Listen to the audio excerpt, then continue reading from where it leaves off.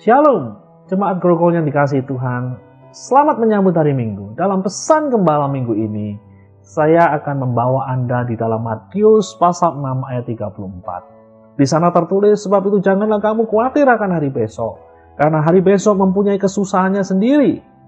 Kesusahan sehari cukuplah untuk sehari. Yesus memperingatkan kita bahwa yang namanya masalah, yang namanya beban kehidupan tidak boleh terus-menerus dipikul. Dari waktu ke waktu harus ditaruh. Secara lebih khusus lagi ditaruh di dalam hadirat Tuhan supaya Anda kuat.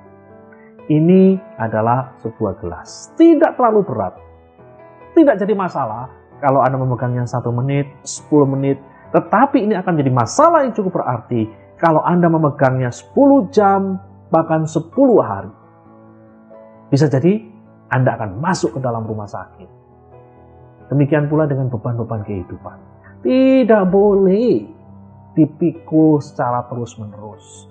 Dari waktu ke waktu harus ditaruh di dalam hadirat Tuhan. Kesusahan sehari cukuplah untuk sehari saja.